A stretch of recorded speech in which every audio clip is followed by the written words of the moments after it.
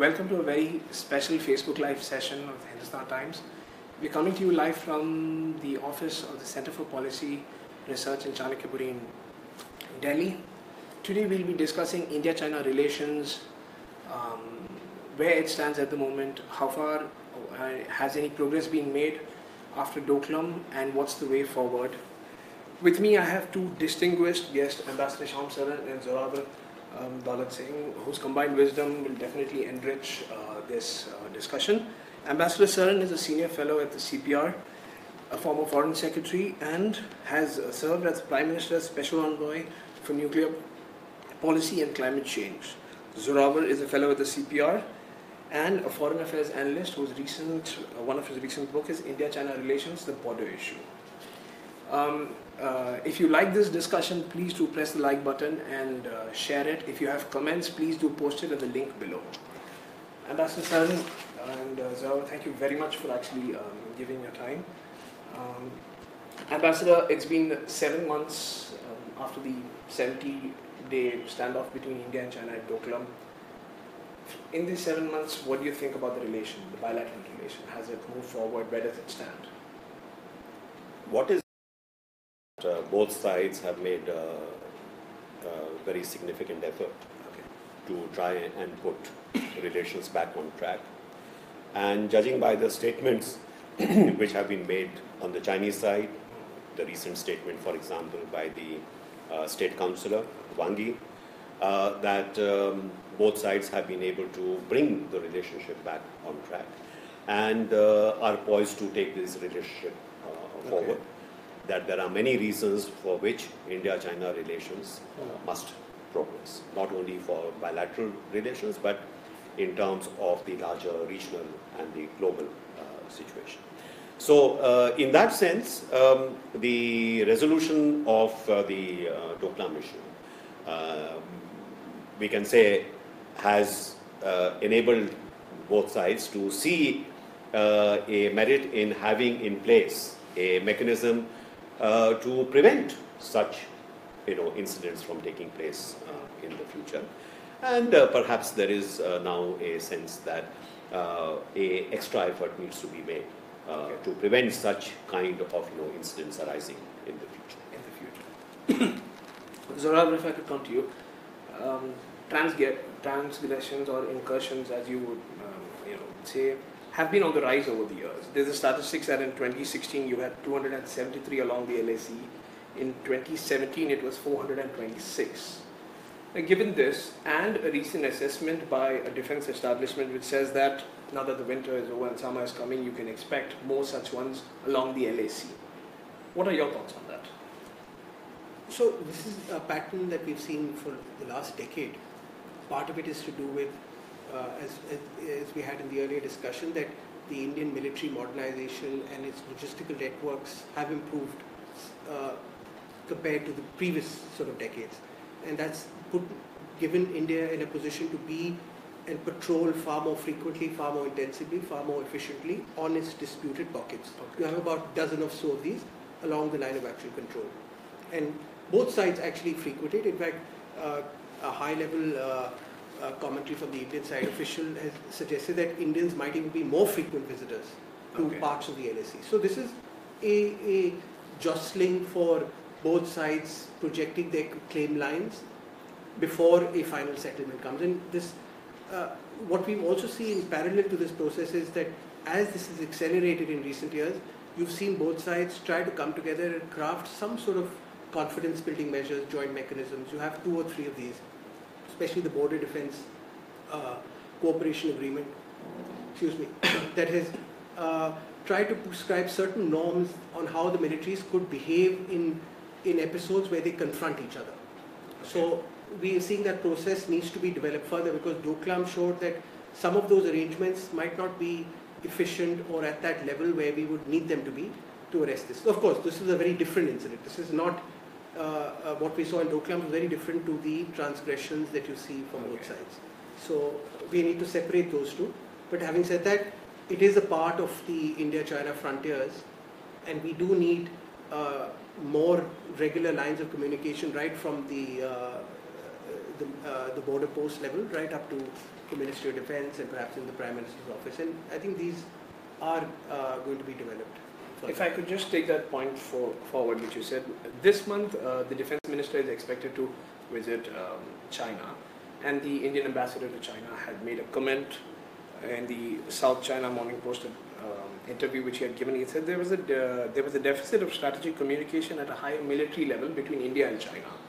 You think um, since then things have improved, or and is the visit of the defense minister a sign of that? So that's certainly a striking comment because it shows that you were not really talking at that high uh, headquarter to head PLA headquarter to level. So that's certainly something that does need to change because if you're going to put two significantly armed forces in close proximity to each other and they are assigned to those duties because you have disputed frontiers and both sides need to be there, then you also have to have cushioning mechanisms that prevent, like for instance, just give you an analogy on the India-Pakistan side, we have far more clear rules of engagement and uh, between, let's say, uh, the defense ministry and on both sides, even though it's a far more uh, a live border, uh, Mm. we, we need to have some of those processes in place which aren't there. Because a lot of the arrangements that both sides, India, China, developed came in the 90s Yeah. when the military balance was very different, our postures were very different, both sides were looking at those frontiers in a very different fashion. Today, both sides are seeking to stabilize and truly secure it. And you've seen this in, in cases where both, when two states are seeking security, at times that process, even if it's very logical, rational, can lead to misperceptions. And to, un, to at least mitigate some of those misperceptions, you need dialogue at multiple levels from both sides.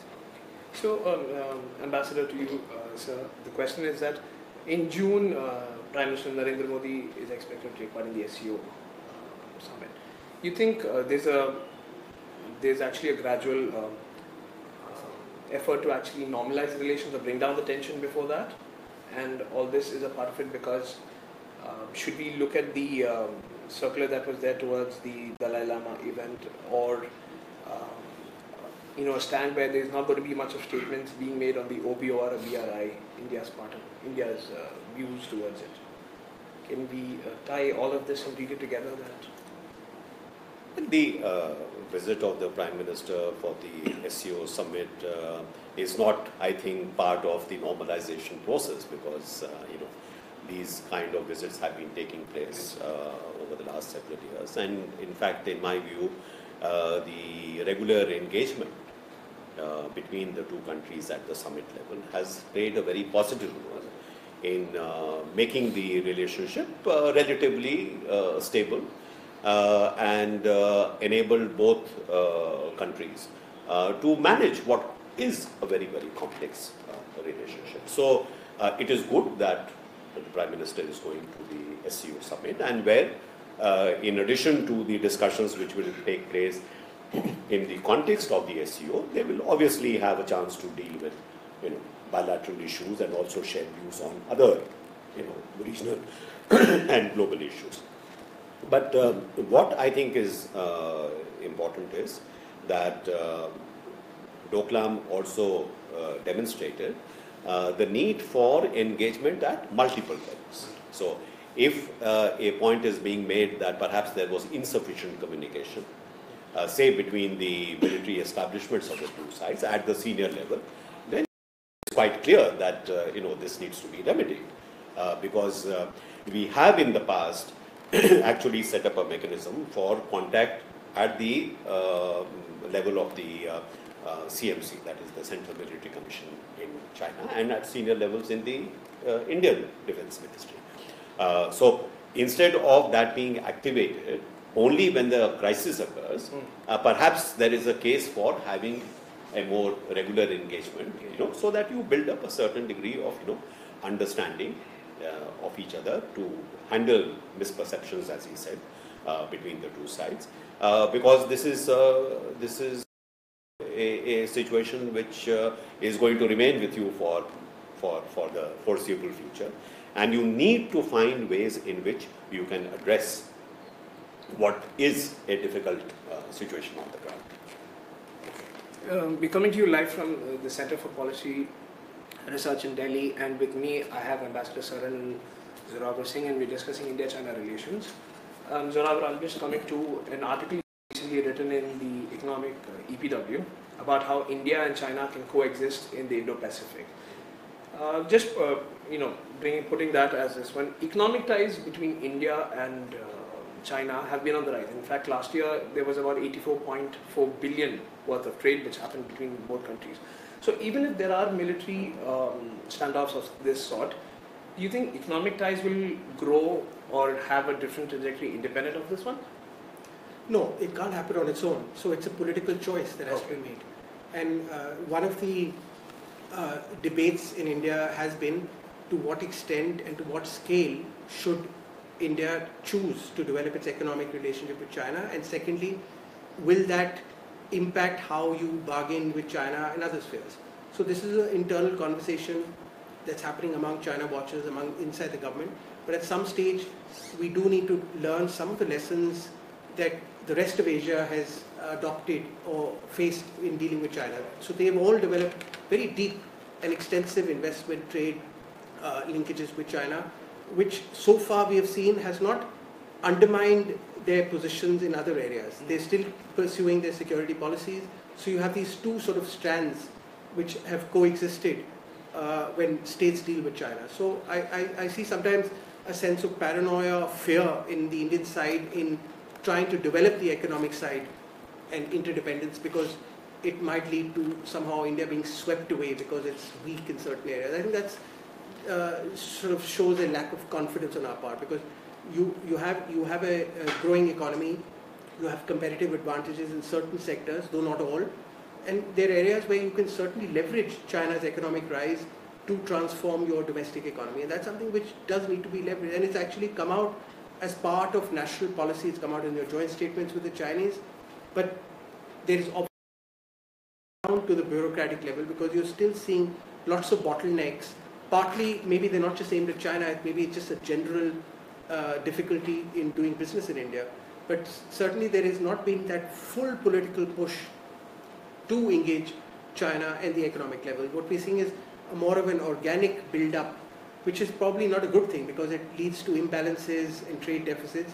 It's better to have a more organized grand sort of strategy on how you are going to engage the Chinese and look at a 20 year, 30 year horizon on what are the outcomes that you seek to gain from them and, and maybe uh, prevent some of the downsides where you might have sort of uh, intersectoral trade-offs or certain sectors where you might lose out.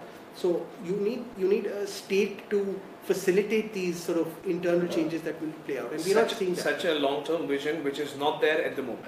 Absolutely. I, I don't think it's been there in any government, frankly, and we just not cater to it. But uh, if China is the challenge that we are facing, then we certainly need to reorder some of our institutions to gear towards that. So there's clear, clearly a mismatch between our rhetoric and our ability to implement our aspirations, and so that, that gap needs to be narrowed. The rhetoric and implementation is not actually matching. so just the last question, I'll first ask you and then uh, to Zorawar. Uh, sir, um, how should China, how should India look at China, especially under Xi Jinping, who has, who for all practical purposes is all powerful at the moment? So should India entirely change its view, or should, how should India look at, you know, at least its policy towards China? Is there a big, is there a big revamp that's required, or? No, I don't uh, see the need for uh, a huge revamp, uh, but I think it is uh, important to uh, realize that the context within which we have been managing India-China relations, that context has undergone a change. That uh, context has undergone a change from the Chinese side because the manner in which they perceive India and perceive India's role in the region or globally uh, is impacted by uh, the rather you know huge asymmetry uh, which has developed between the two countries in terms of their economic capabilities, in terms of their military capabilities. Uh, China certainly does feel that it is in a different sort of league uh, compared to India and other uh, emerging countries. That it is no longer an emerging country as it was, say, 10 years ago. Uh, if you look at uh, a lot of the uh, discourse in China, it is benchmarking China with the United States. You know, that uh, we are really in that league. And there is therefore a, a, certain hierarchy of relations that uh, China has you know, put, in, put in place. So the issue for India is really uh, how do we deal with this asymmetry? Uh, so one answer to that asymmetry is uh, there is no escape from building up your own capabilities. the good news here is that uh, you are a country with uh, very uh, significant capabilities already, uh, and certainly a huge amount of potential. and there is really no reason why you cannot, in fact, begin to address this asymmetry and start shrinking this asymmetry. Because don't forget that in 2005, 2006, uh, India was growing at the rate of say 9% to 10% per annum.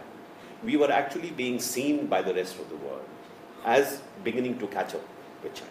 And that itself dramatically changed the options that India had in terms of its own status, its ability to get advantages from the uh, global environment. Uh, that is no longer the case. You know, so we have to understand that the global environment in which we are operating is not the same as what we had in, in, in, the, in the, recent past. Uh, so this will mean that the China challenge will be that much more complex to handle. Uh, secondly, how do we uh, order our relations with other countries, with other major powers? Not so much to contain China, but to provide a degree of balance in our region and globally. You know, this is a difficult task to uh, achieve. So, uh, not so much a revamp, but how do we adjust the Indian India India's uh, policy approach, its security approach, to take account of what is a very very changed uh, you know uh, environment.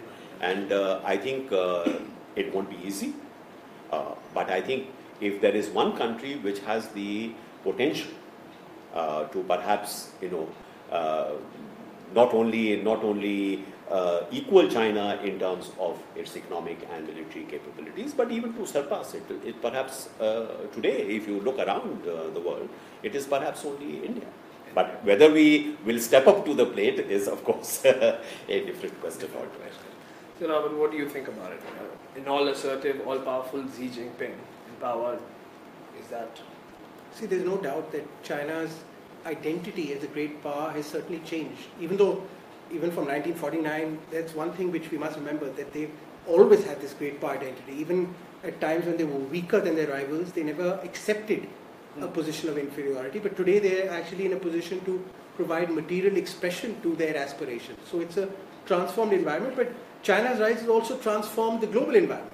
It's created a multipolar world today. It's made other actors, other bigger powers look at Asia differently, look at India differently. So it's actually an opportunity for India.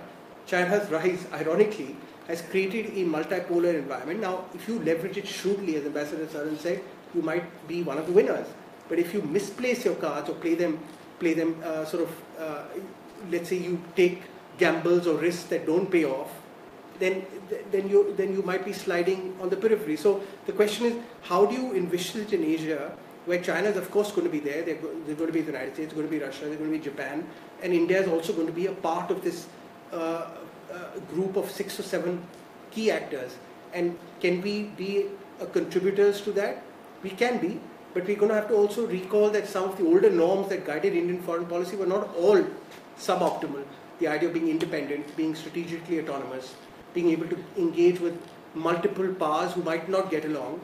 These are advantages that we can sort of uh, pull out from our strategic culture, but also adapt to changing circumstances like economic interdependence. The fact that today's great powers are far more interlined and entwined than they were in the past. So these, these circumstances do offer India an opportunity. So will India play its cards right? Will India step up, uh, you know, to the challenge? These are questions that we will keep on asking. Thank you very much for joining us for this session, and thank you, Ambassador. Thank you. Thank you. Thank you. Thank you. Okay, thank